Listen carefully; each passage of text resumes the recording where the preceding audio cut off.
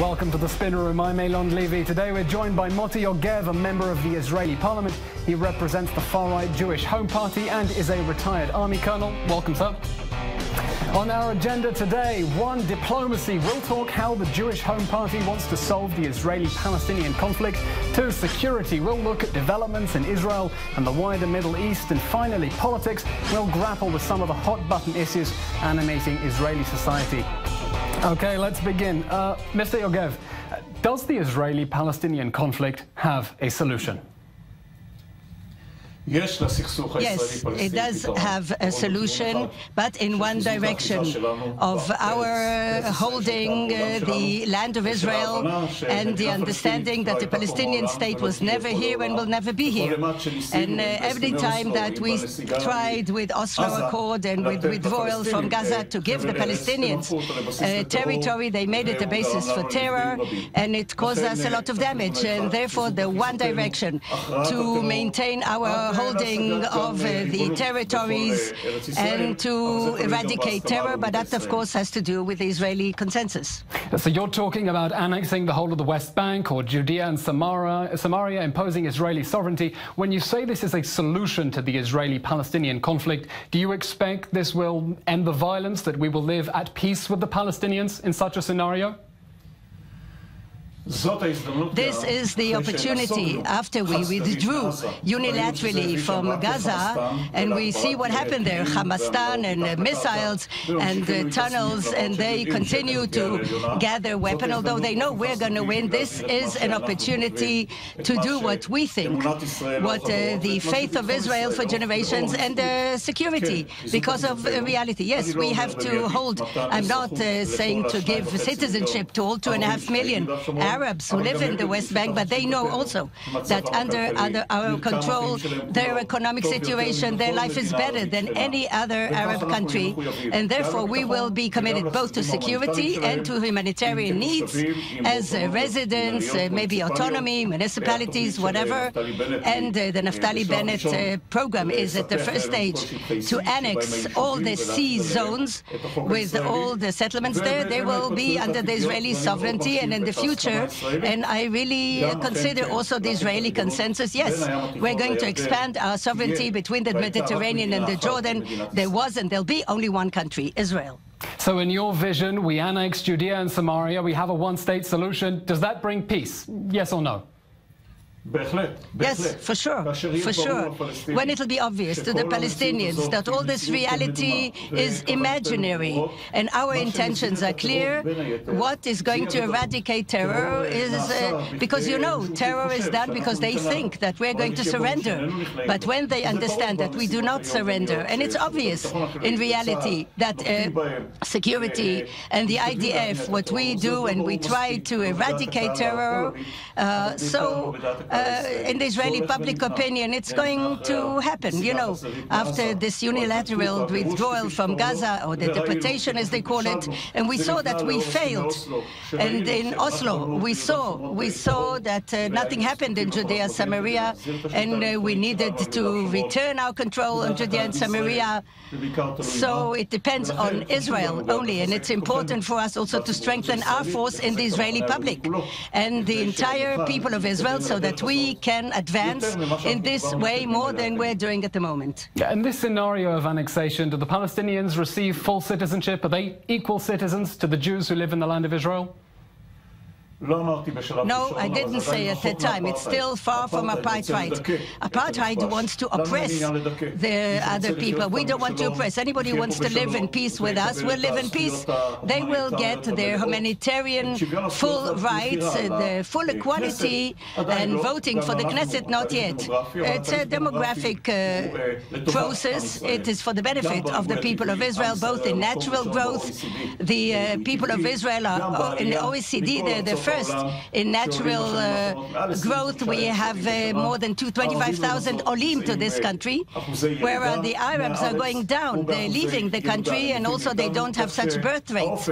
So and the horizon is only for the benefit of the people of Israel, demographic as well. And we're not going to make decisions now. Now we'll do it stage by stage. We want to strengthen our hold in Judea and Samaria and have a situation with no Torah to control the area.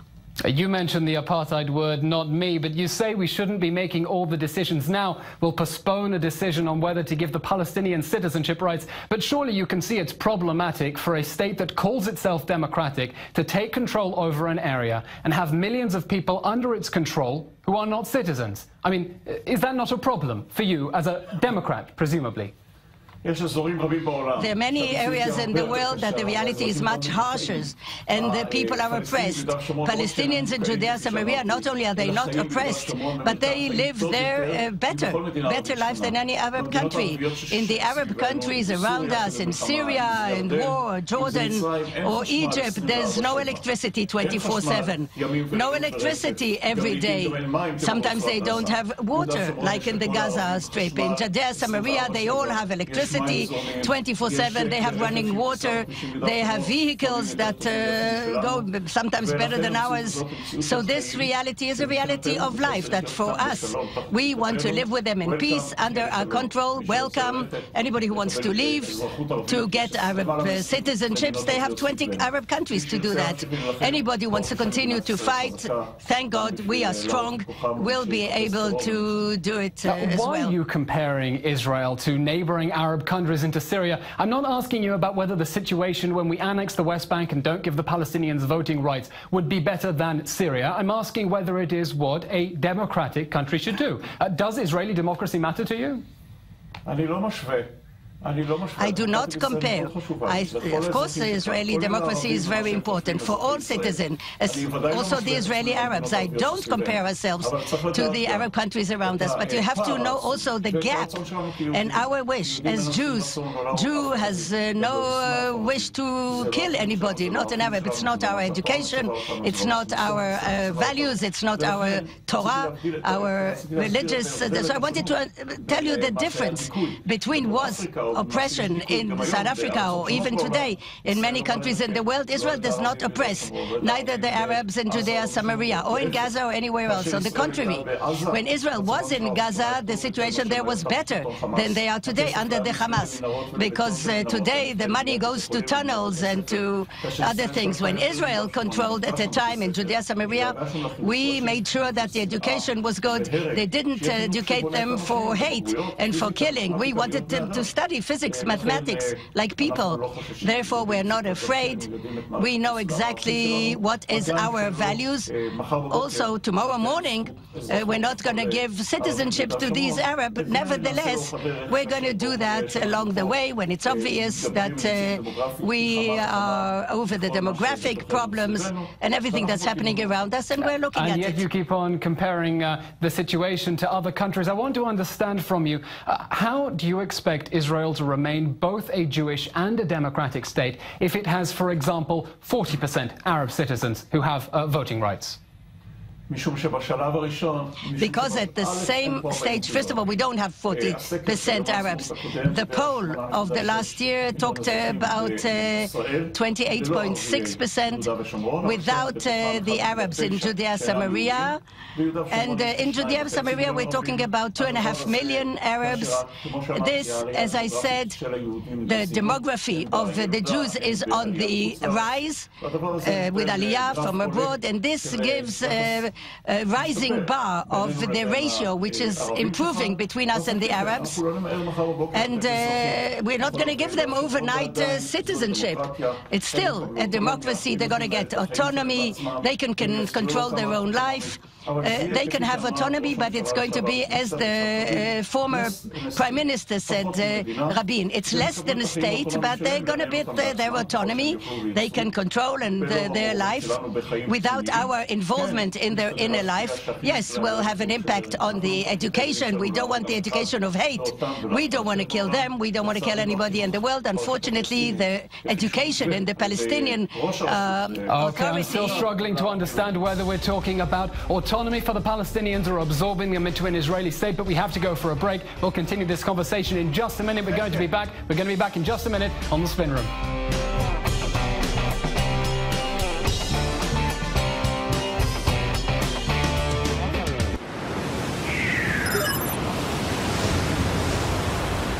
Americans have simply lost trust in news media. What happened to the news? All I get is a daily serving hey, of lies. do your job and just tell me I the am news. overloaded with news that is useless. Give me the facts. Let me sort it. Where's the integrity?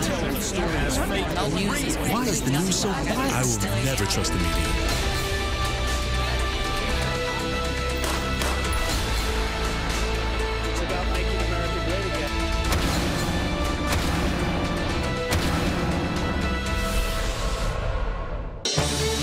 Michelle Makori on I-24 News. Join me on Clear Cut, where we cut to the chase with a straightforward yet insightful breakdown of the world's top political and economic stories.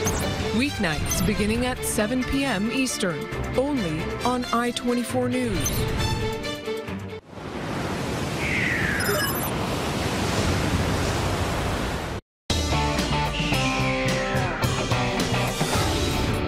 To the spin room. Here we have a member of the Israeli parliament, Moti Yogev, from the Jewish Home Party. Uh, Mr. Yogev, uh, help me understand something. Uh, the proposition of your party leader, Naftali Bennett, his so-called tranquilization plan, is to give the uh, Palestinians in the West Bank autonomy in certain islands and to connect them with tunnels and bridges so they don't have to go by any Israeli soldiers and they can go visit their families by tunnels and bridges. Uh, do you accept the Palestinians find this proposal humiliating? This uh, plan is actually happening today. It's the same plan of Menachem Begin. And they find the uh, reality today humiliating. It's also a plan of the Prime Minister. They have a life which is better than any other Arab country. What they get in Judea and Samaria, they don't get in any other country in the Middle East. In Judea and Samaria, ask any Arab if he gives up his uh, right to live in Judea and Samaria and he would be willing to go live in an Arab country, he would say that he lives better. I tell you. Because he's got livelihood, he's, he can uh, support his family. This is our intention. That's where we're thriving for, in order to improve the life of the Arabs, and in that uh, also to have security, so that they're not going to go for terror, but they'll go for life, for mutual life. That's what we mean, and that's where we're going. Yes, this is the plan of Naftali Bennett to annex, Do you think and this will bring better stability? Do you think that stability. the Palestinians should feel grateful for living under Israeli occupation? I don't ask them to feel grateful. We believe in our justice. The justice is that the land of Israel belongs to the Jews of this country. We have Arab countries. By the way, I'll tell you a little anecdote that uh, uh, when Jesus was here 2,000 years ago, he didn't say a church. It happened 150 years later. He didn't see a mosque. It happened 500 years later. He only saw the second temple of the Jews. This is the history, this is the faith, and this is actually the reality and the security. These four legs, four pillars, it's obvious to all of us, unless Okay, you Mr. imagine Yogev, things. Mr. Yogev, you keep on comparing the situation to other Arab countries. I'm trying to bring the conversation to what Israel should do as a democracy. So we're not getting anywhere on this subject, and we're going to go forward to the second subject. We're going to be looking at the question of security. Uh, you're a retired army colonel. I want to understand uh, uh, your view of things. Uh, let's have a look at the Gaza Strip. Uh, a report now that 97% of the water in the Gaza Strip is not fit for drinking because it's polluted either with sewage uh, or with salt water. Are you concerned about what might happen if there's a real humanitarian disaster in Gaza? First of all, we have to understand that the withdrawal, the disengagement was a big mistake. We had a great struggle against uh, the disengagement because in the Gaza Strip it's part of the uh, land of Israel and uh, also the destruction of the But whether or and not it. that's- was a mistake in the past, are you worried now that a humanitarian disaster will explode in our faces? Yes, I am. And because I said that what we can do and what the Israeli consensus agrees to, I think that we are committed to understand that we have responsibility, both security and humanitarian, to work in two parallel pillars, to hit terror when you need, and its heads, and all these leaders of the Hamas that take all the money of the population in Gaza and they make it into terror instead of giving them a good life, and also to help humanitarily. There's a difficulty. We can supply electricity and water. We don't even get payment for it. But in the Gaza Strip, there is no infrastructure. That's why we need the cooperation of other countries. It was Qatar, now less. If we're talking about Iran, they are, so we don't have this combination because it's a combination of terror, not life. We have to look for partners in the world or within the Gaza Strip. I think we will have to uh, do away with the leaders of the terror and to make Gaza a tourist place, economic place. There are two million Arabs living there. They should live normal life. We are going Just to... so I can understand where you're going here, because of course in Israel we're always talking about when the next war will take place, not if. Are you suggesting that in the next war Israel should destroy Hamas, take over Gaza again, and then try to find local allies who could what, uh, set up a, a puppet government? יש, in the Israeli population, uh, some people do think, but even in the army command that are afraid that if we are going to eradicate the leaders of Hamas, there'll be nobody there to be in power because it's a mess there. There's uh, ISIS and there's Hamas. So Israel for Hamas at the moment is the factor that we can negotiate somehow uh, because we know the reality and maybe we can make it more stable. I think that uh, uh, the evil is evil and evil has to be hit in order until we hit it, until we finish all the leaders there, no civil leadership is going to grow because they actually took control of the Gaza Strip. I mean, the they killed alternative, anybody. to, the alternative to Hamas taking over is either Islamic Jihad or the Palestinian Authority, which is currently having reconciliation talks with Hamas. Do you support the Palestinian Authority taking back control of the Gaza Strip? Either if there's no other choice, Gaza challenges us, and nobody cares in the world about Gaza. Only we, Jews, we care about the people in Gaza. Also the uh, sick people, we, speak, we take care of patients in our hospitals. So one day maybe we'll be forced to uh, uh, wage war on Gaza, to control it, and unfortunately uh, people will be hurt both in Israel and Gaza. This is what I see realistic, although I would be very happy if it wasn't the situation. That uh, we want things to be better for Gaza and for Israel, but uh, logic and reason doesn't work uh, on the Hamas. I uh, think we are going to peace, they're going to war, and this reality, unfortunately, is going to make us uh, through the feet or do the head will have to, unfortunately, be And when forced that to happens, should. Israel re-establish the settlements it demolished in 2005 in the Gaza Strip? That's a further future. And I, in my vision, of course, I see it because in the place where there was a settlement, there's more security. So it is in Judea, Samaria. So it is in Gaza after we left. But you see what happened. No security, and even the country is now threatened in the far future. But of course, it all has to do with Israeli consensus. The Israeli public understands now more and more. Uh, they see the mistake about the disengagement and its connection to the land of Israel. Most of the public knows that we're not going to withdraw from the clusters in the Jordan Valley. It's forever and ever is going to be part of Israel. These insights are created with the years, either through logic and the head, or, as I call it, through the feet uh, on the ground. And this is going to happen. And uh, then, of course, we'll Okay, do well, this uh, on step some of the well. present uh, security challenges facing Israel. Since President Trump recognized Jerusalem as Israel's capital, we've seen an upsurge in rocket attacks from the Gaza Strip. Has Israel lost its deterrence? All this is obvious. We have today an administration which is 180 degrees opposite to Obama. Obama saw us as the problem and saw Iran and the Palestinian as the solution. Thank God uh, the Trump administration sees in Iran a problem. The Palestinians are not a big problem, but they see in Israel a solution, a real ally. This thing we need with the administration to be cautious. But of course it advances us in the international international atmosphere, we can stronghold Judea and Samaria and Jerusalem. It doesn't happen in leaps and bounds. It happens in small steps, but that's the direction. We want to strengthen our hold in Judea, Samaria, in Jerusalem, preventing Okay, and eradicating Yogev, we have to go terror. for another break. When we come back, we're going to be taking a look at some of the internal Israeli politics with Member of Parliament Moti Yogev. We're going for a very short break, so don't go away.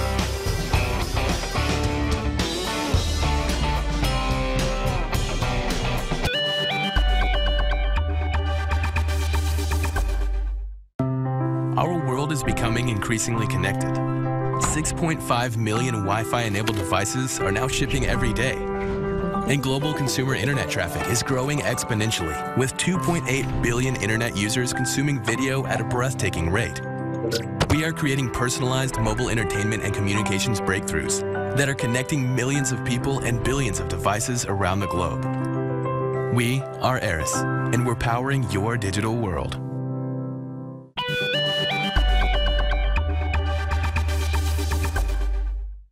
Join I 24 News for an exclusive interview with Karen Pence, the Second Lady of the United States and wife of Vice President Mike Pence, as they embark on a high stakes visit to Israel. Tune into the rundown at 1 p.m. Eastern, only on I 24 News.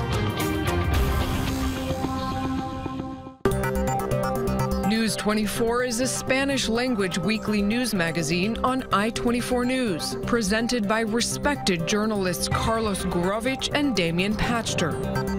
Bringing you news and analysis of the most important issues of the Middle East and Israel, with the added perspective of the impact on the Spanish speaking world. News 24, Fridays only on I24 News. Israel, the Middle East, the world. Get your daily dose every morning on I24 News. News from around the world to around the corner. Jeff Smith brings you the top stories, the hard news, and analysis you need to know. Weekday mornings at 7:05 a.m. Eastern, only on I24 News.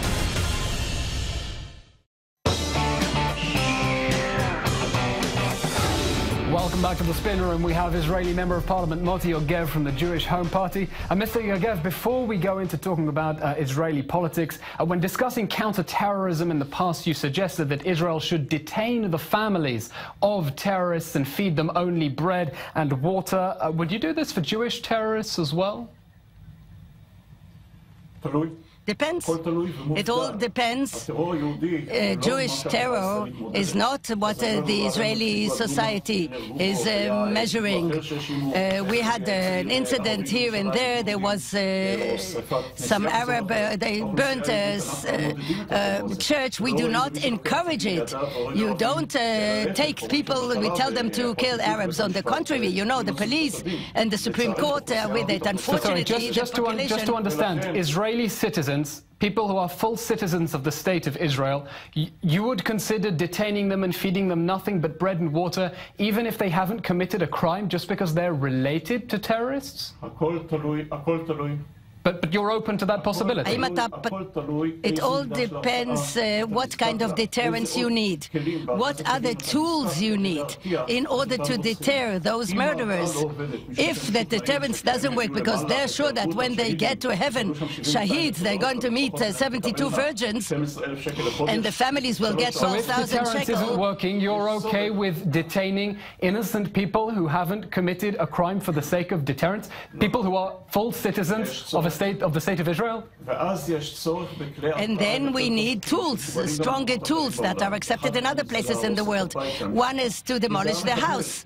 If it was a, terrorist. terrorist, detaining the families of terrorists, I want to understand. That's going to save life because the family members, I spoke about it, because the Supreme Court did not enable us to deport them abroad, not even to Gaza. And I said, okay, if they have to stay, if you uh, disrupt the life of the family, you know, that uh, group that just now murdered the rabbi, if you take the family members of those murderers and put them in so the desert. Just, just to conclude, because we want to get on, you're open to doing that for Jewish citizens of the State of Israel as well. But you said it depends. There's no need, if you have, if no other choice, because the reality, the social reality, the perception among that population, we're talking about the family members who support terror. terrorism. If they are supporting terror, then of course we need this deterrence and the punishment so that they understand. The terrorists should understand. Maybe my father or my Even in mother. cases of Jewish terrorism. Okay, Mr. Yogev, we have to go on. We have to go on to the next subject. We have to go on to the next subject. Protests in Israel now over the subject of uh, the mini markets law, which would shut down, keep supermarkets shut in Israel on Saturday. Uh, many calling this religious coercion. Is religious coercion okay in a Jewish state? I think that we have to go back to a different discourse. Now, at the 70th year, I thought about it, the unity of the Jewish people. It's very important. So I try less not to stick a finger in the eye of the member of Knesset. I want to talk about the problem itself, about the issue, and not to people, whether this uh, minister But that's, what, or that's that not minister. what I'm asking. Do you accept that not allowing the secular public to live as they want by shutting down the mini markets on Shabbat is a violation of their religious freedom? It's religious coercion. It was uh, very clever of Ben Gurion at the time, of the status quo. You know, in my uh, street, uh, I can uh, take a car on Shabbat. We understood that. By the way, those buses who go, or people who don't have cars, if they have to go to hospital or to go visit families, that's not a problem. But trade in Shabbat, we want to talk about the value of Shabbat, as Ahad Ha'am said. He said that more than the people of Israel, the Jewish people kept the Shabbat, the Shabbat kept them, because uh, God, through the people of Israel, He gave it to the world. So they need one day. You know, the Muslims have a day off on Friday, the Christians on Sunday. And they don't uh, trade. They close the shops. In Israel, we do, because uh, the rich man comes and he can buy, and then it uh, even disrupts the social stability.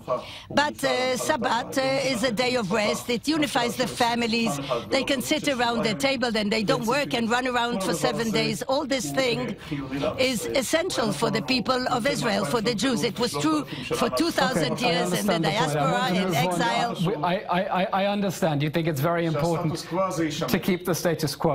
Uh, there's talk of elections now within political circles. We see various parties maneuvering to get ready for elections. Some polls show that your party, the Jewish Home, could jump from 8 to 13 seats. When the elections come, how are you going to make sure you keep that support so the same people won't jump to the Likud at the last minute like last time? First of all, you saw last time we didn't manage to maintain them. I think we have to consolidate ourselves with our ideology. Many people believe it. A unity, unification of this people with all its populations, uh, also to be connected to the Torah, to the tradition. People want roots. I'm not analyzing exactly what people are doing, if they keep Shabbat or they go for a football game or whatever, but people who want to be connected to the tradition, to the roots, to this people, to this country, to this state. These are four pillars of the ideological perception of uh, Jewish and religious Zionism. I think many people want to expand the ranks. Yes, of course, we have to do it uh, the way So how are you our going to minister is stop the doing. Likud at the last minute stealing your votes when Netanyahu says you have to vote for me so I can continue to be prime minister? Uh, we will be better. We will maintain uh, the national camp and Netanyahu to be stronger. I don't think it's a conflict. I don't think they contradict. Eventually, the people will decide. But we want to expand the circle of the voters uh, with the other uh, parties, uh, the traditional ones in the various other parties, or Shas even, uh, many populations, in order to strengthen these four pillars. People of Israel, the land of Israel, love of Israel, tradition, etc., Yogev, Moti etc. Yogev from the Jewish Home Party, thank you very much. I'm afraid we have to go for a break. If we could carry on, we could carry on for a very long time. Moti Yogev from the Jewish Home Party, thank you very much for joining us. We're taking a very short break. We'll be back very soon with Price Gurus. Don't go away. I'm Lauren Izso on I-24 News. Join me on high definition right here for an in-depth understanding of Israel's diverse society through groundbreaking documentaries. Join Lauren Izso weeknights at 10:03 p.m. Eastern, only on I-24 News. I'm David Shuster on I-24 News. Join us on Stateside. It's our channel's flagship broadcast, and it features our best reporting and analysis of news from around the world and from here in the United States. Watch Stateside, weeknights at 9 p.m. Eastern, only on I-24 News. U.S. Vice President Mike Pence is touching down in Israel this week, just as the Trump administration recognizes Jerusalem as the capital of the Jewish state. I 24 News will be there for every step the vice president takes in the Holy Land. Tune in Sunday through Tuesday, only on I 24 News. There's more to the news than meets the eye. Many voices, many faces, with interests often at odds. We take you deeper beyond the headlines, inside the drama, the controversy, bringing you fresh insights into the conflict, breakthroughs, heartaches, and victories shaping our world. Perspectives. There's more than just one view. Sunday to Thursday at 5:05 p.m. Eastern, only on I24 News. Every stone, every street, every scar tells the story of Israel. A place that speaks of the souls of Jews, Christians, and Muslims alike. Changed by time and conflicted, its magic still echoes in the hearts of its people. Join I-24 News' Jordana Miller on a journey through history. Watch Holy Land Uncovered every Sunday at 10.05 a.m. Eastern, only on I-24 News.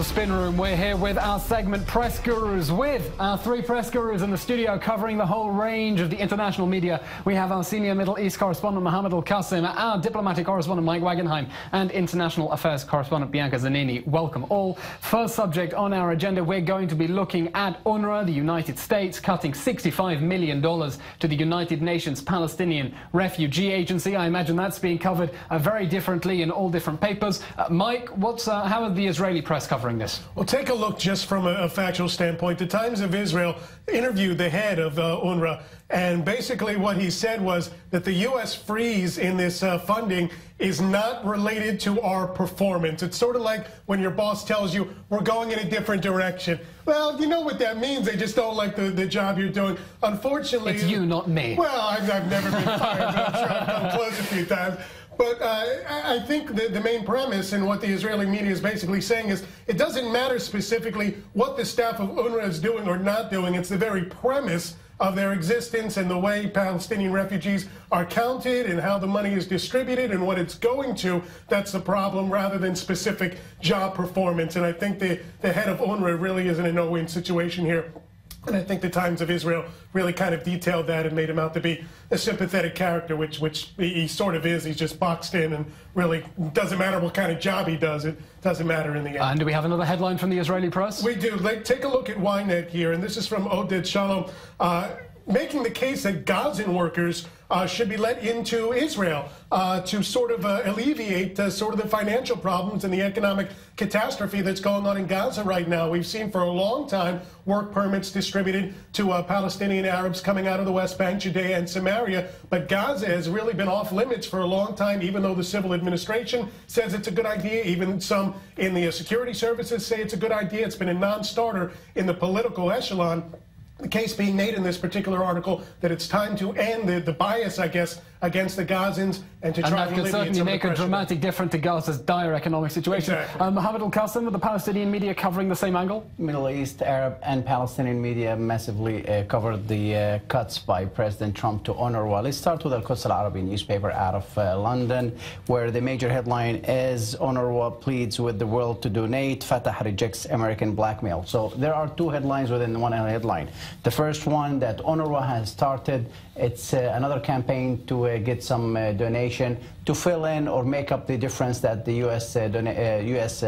Aid is leaving behind. But at the same time, Fatah, which is a major Palestinian party, is saying that the U.S. is blackmailing the Palestinians. Therefore, they will not give in to that uh, to, to, to the U.S. Uh, cutting of, uh, of aid to UNRWA and even the threat to cut aid to the Palestinian Authority. Let's move on to Al Quds, a newspaper out of East Jerusalem, and also a major headline on that. The following day, the U.S.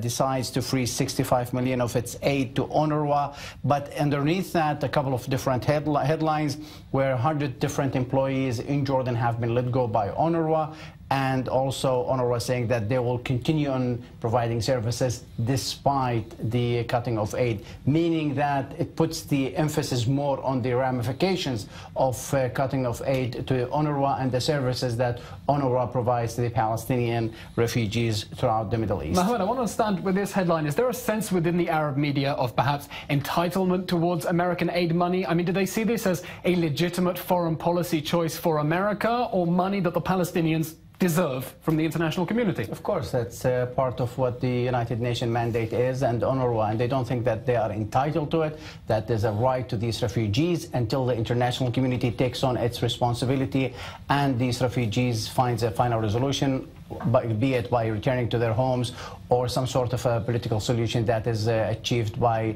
the major uh, parties involved. And you have another headline for us. That's correct. A cartoon, and we love cartoons here Yes, uh, we at do. Press Guru. And this is from Al Arabi Al Jadid, another newspaper out of London. And it's really telling uh, of, uh, of the whole situation.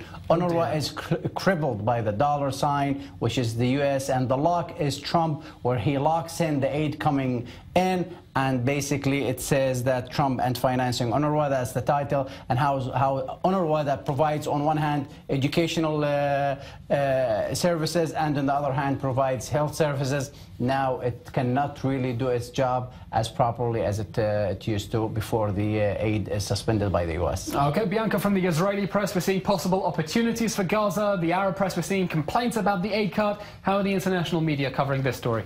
very differently, and I decided to take two opinion pieces with uh, two very different opinions. The first one is from the forward from Lisa Goldman, and her main point here is that whether or not UNRWA's mandate is politically desirable, that's beside the point. Millions of people depend on it. So she's saying if there were no UNRWA schools, kids would be educated in Hamas Islamist schools. And is this really what we want? Mm. Some say that UNRWA is too closely tied to Hamas. Her point is that it's exactly the opposite. If it wasn't for UNRWA, UNRWA Hamas would have much more power. And it's so the if devil the you U- know, at least. It's the devil you know. So she says if the U.S. wants UNRWA gone, they need to solve the actual issue, which is the issue of the refugees, not the UNRWA itself. Okay, and what That else have we got from the international papers? So from Newsweek, actually, this was uh, first um, uh, printed in uh, in um, the Council of Foreign Affairs webpage by Elliot Abrams. He's an American diplomat, served under Bush, and he says that.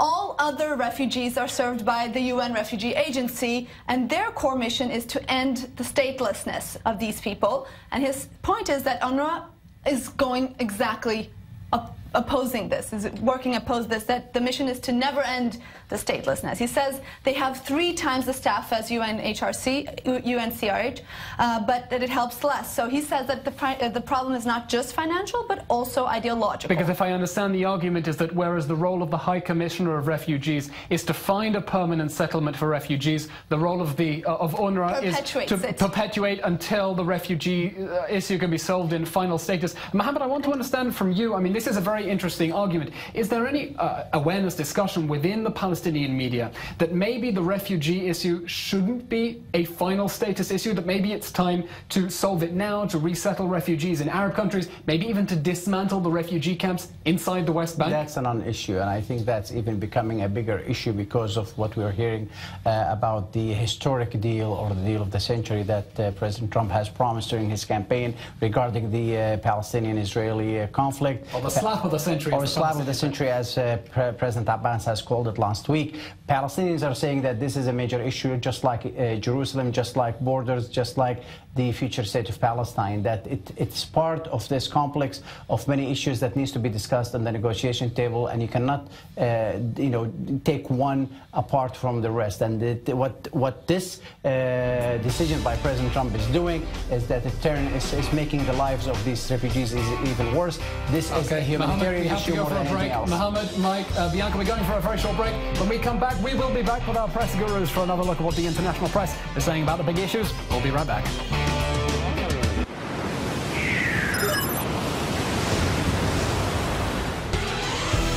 What you need to know, the news, fast and to the point, and the in-depth interviews that will keep you in your seat from the people that you trust. I-24 News presents The New Rundown every Monday through Friday at 1 p.m. Eastern, co-hosted by Nurit Ben and Calev Ben David. Only on I-24 News.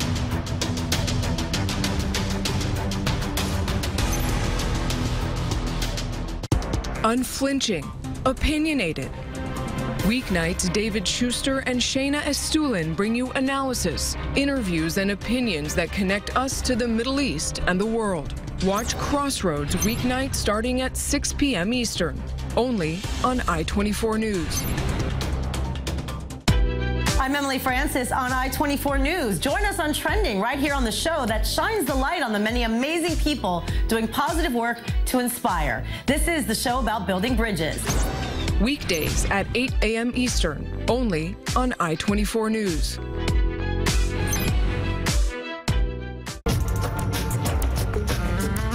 I'm Jordana Miller at I-24 News. Join me for the Holy Land Uncovered, a look at this remarkable land filled with so much faith and history and archaeology. Watch Holy Land Uncovered every Sunday at 10.05 a.m. Eastern, only on I-24 News. I'm Tracy Alexander for I24 News. Join us on Perspectives and get the whole picture as we break down the day's top stories from all angles.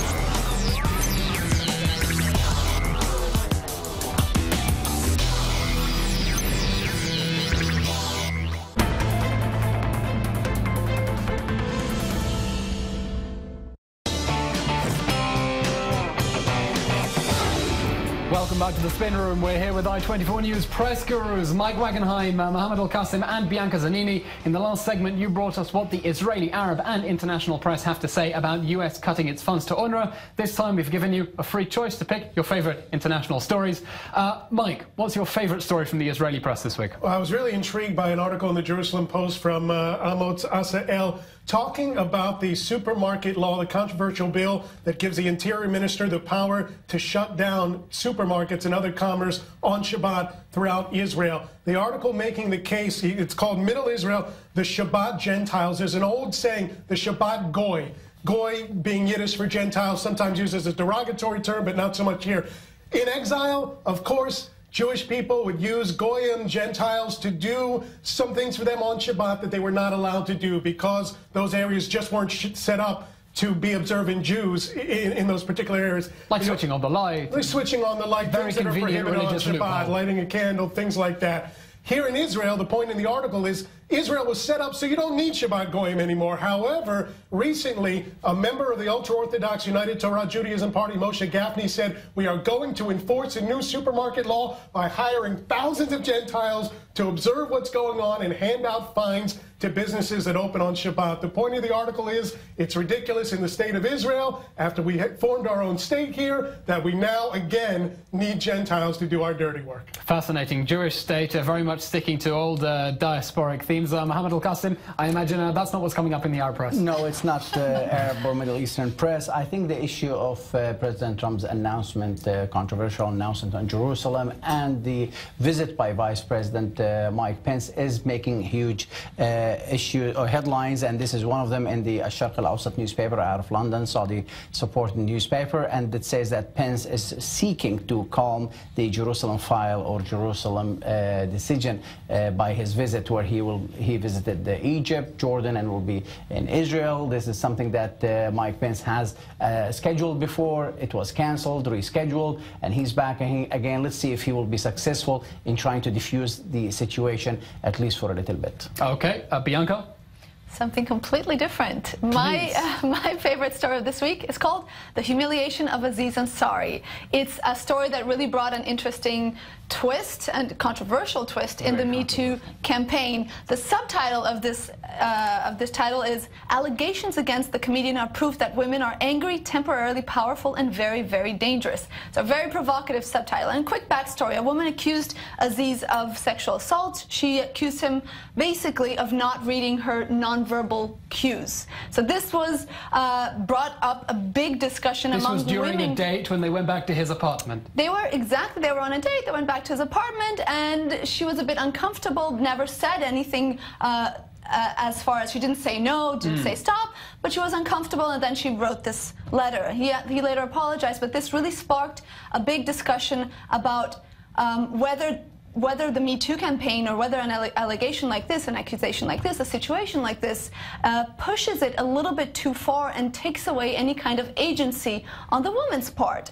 And uh, of course, this, uh, this particular uh, essay, this particular piece, talks about a generational gap that what used to be normal is no longer normal, but this is more than just generational. It's also cultural, and it's also because we are in the midst of, of, of, a revolution. We're changing something right here, and there is collateral damage. But, that, that's dangerous on two different uh, levels. First, it's dangerous because it could it could have destroyed his life and uh, career, and it could still it could be. Still. Uh, secondly, it falls on the journalistic or journalism of the uh, publication that actually published uh, this letter because it wasn't really uh, an assault. It wasn't really. I mean, it's it borders it borderlines being even. Listen, it's still. I agree. It's not an assault, but it's still an important addition to the dis discussion because what we're asking here is not just, we're not breaking up with just rape and sexual assault. What we're asking is the majority of, the vast majority of women have been in a situation where they've been uncomfortable because and, of... Uh, and Bianca, if I understand correctly, that, this is what's so challenging here because we're moving away from a, a dating culture towards a, more of a hookup culture where people are having more casual sex outside of defining themselves as being in a relationship and it's a whole generation trying to define new norms about what is okay and what is not okay. Absolutely, that's exactly it. And in this process of defining this and redefining ourselves and breaking with the normalization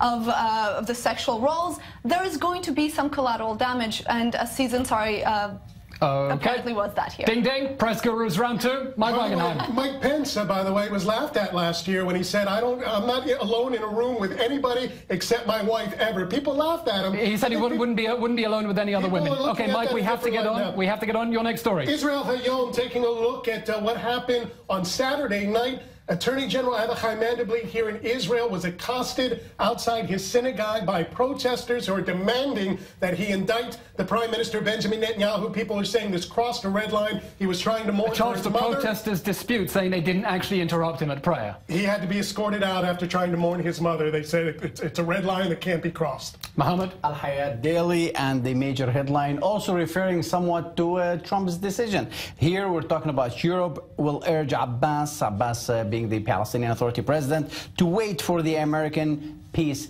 plan. Abbas is in Brussels uh, today, tomorrow, and Tuesday. He will be giving a major speech trying to persuade the Europeans to take on a bigger, major role in the uh, negotiation process. He has disqualified the Americans from being the sole uh, mediator in this uh, process. However, the Europeans, according to Al Hayat newspapers, are asking him to kind of calm down and you know, try to understand what the Americans are offering before he takes this uh, major step forward. And of course, we don't know what the Americans are offering, but there are all sorts so of tantalizing leaks, exactly. and we don't mm -hmm. know mm-hmm. what is accurate and not. Uh, Bianca, Yes, um, my favorite story was this headline. Trump says Democrats are ruining his one-year anniversary as a president. And the reason I chose this is because, first of all, it's good. Second of all, it combines the two biggest stories, well, two other biggest stories this week in the U.S., the government shutdown and the one year of uh, Trump in office. Uh, and it also Was he expecting something... them to throw him a party? Yes, he was, and he was expecting uh, to Wow. have uh, to gonna be relax in Mar- to, huge, the best party. He was expecting to rest in Mar-a-Lago. He is not doing that right now, so instead he is ranting on Twitter and being angry. Mohammed, what's new? Anyhow, well, uh, moving No, on no, to just comment on this because we have to go for a well, break in just a short uh, again, I don't think that uh, President Trump uh, has uh, the right as the president to really complain a lot. He is part of the problem, and if he's not part of the solution, so he should take it on and quit complaining and make and take some serious Mike, steps. do you think uh, the president was really it. expecting the Democrats to throw him a party? Absolutely, No. without a doubt. And, uh, I think he was expecting Chuck Schumer to pop out of a cake. Yes, okay, well, that, that, that is a thought I'm not going to be able to get out of my mind, so uh, thank you, no thank you, Mike. You're welcome, uh, sir. Mohammed Al-Qasim, Mike Wagenheim, Bianca Zanini, our press gurus, thank you very much for joining us on the Spin Room. We are now going for another short break. When we come back, we're going to be back with the Spin Room Countdown, the five top stories that made me chuckle, cry, or, uh, uh, or cry with laughter in the last week. We'll be back in just a minute.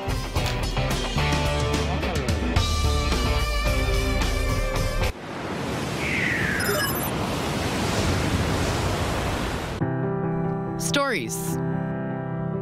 Stories that touch your heart and open your eyes. Stories that take you on a journey and show you something you will never forget. Look through the lens and see what others see. High definition, documentaries and discussions that connect us all.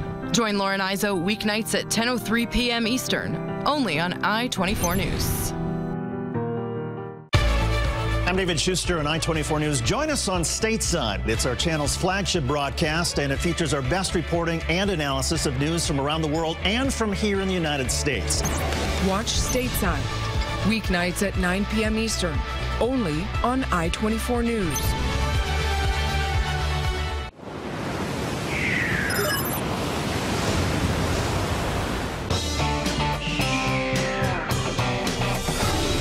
We're back and it's time for the Spin Room Countdown. Five moments that either made me laugh, cry, or raise one quizzical eyebrow this week. At number five is the farce surrounding Israel's new mini markets law. Yes, Israel's ultra Orthodox parties are sensing elections, gearing up with a new law to keep mini markets closed on the Jewish Sabbath. The city of Ashdod started enforcing laws against opening shops on the day of rest. It's advertising for inspectors and is explicitly discriminating against Jews. That's right, no Jews allowed, Shabbos goys only.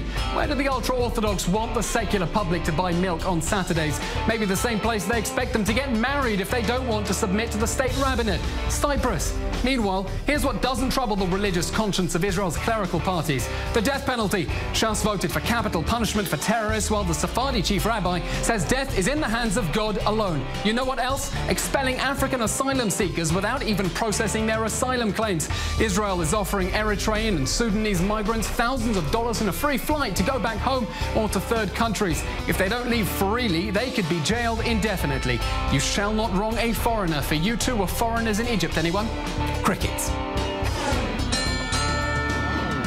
At number four, Britain now has a minister for loneliness. No, this isn't a Monty Python sketch about a country that's permanently cloudy where it's rude to make eye contact with strangers on public transport.